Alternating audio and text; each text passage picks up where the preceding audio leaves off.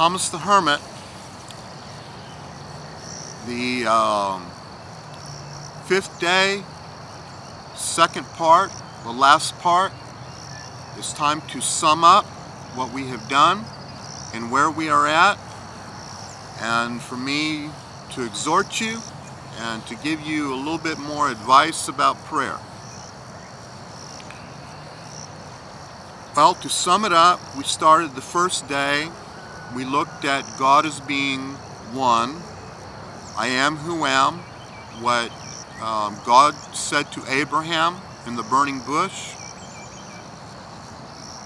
Um, then we looked at um, this incredible relationship between the Father, Son, and the Holy Spirit and the love that is there. Then we looked at God's infinity, that He is outside of time, that um, He has always existed and will always exist. And the last one was that God loved us first, and that any merit that we have of, of we think that we're seeking him is him actually drawing us to himself. Jesus said that he is in the Father, that's the elucidation to the Holy Trinity, and that we are in him and he is in us we are in him and he is in us. That is the signpost of the direction to go. When he is drawing you to himself, you seeking that intimate union like the Holy Trinity has with itself.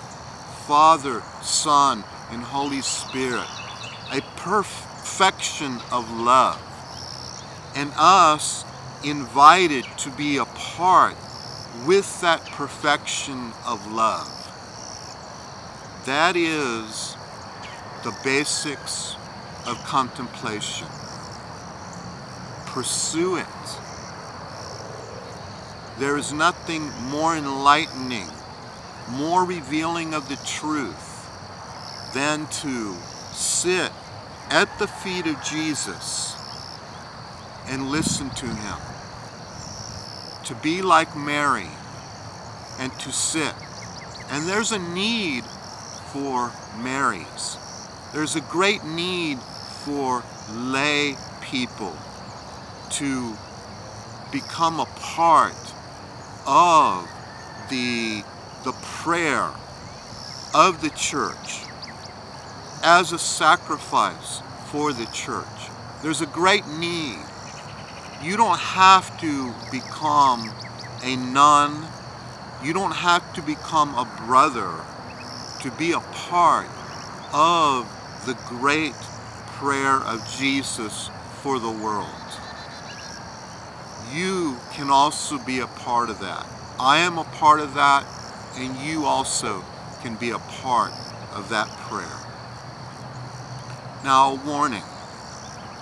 The demonic does not want real prayer warriors. And it doesn't want you praying. So you will not find an advocate but an enemy in the liar. And he is a liar. That's all he does is lie. That's his main weapon of choice, is to create lies.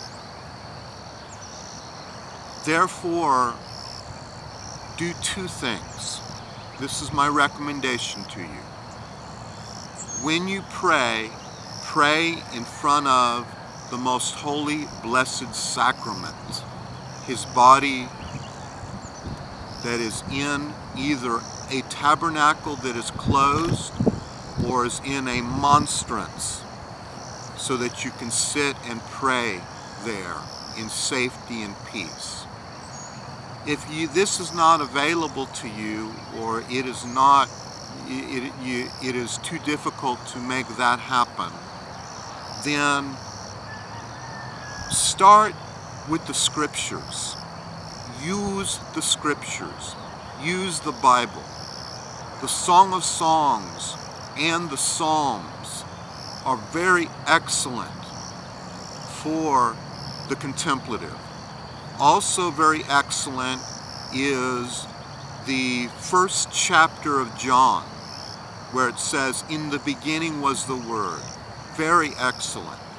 Also, I recommend Job if you have had a lot of suffering and difficulties in your life, or Lamentations. All of these are great meditational pieces and works whereby they will help you and to stabilize you and are a safe road when you're on the path of contemplation. Do not be misled by the liar. The liar will try to seduce you into your spiritual importance, and that is called spiritual pride.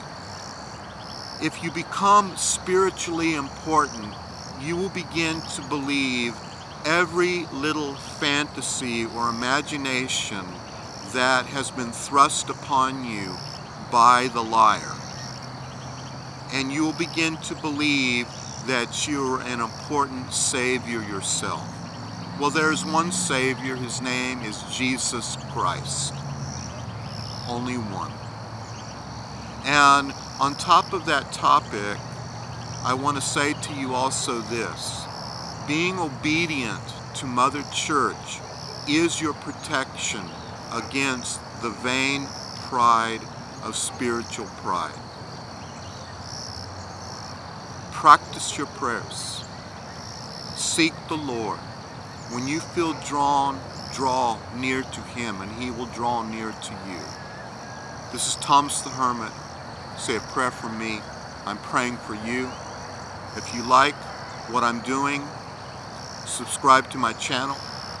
I've got a lifetime of experience to share, and God bless you.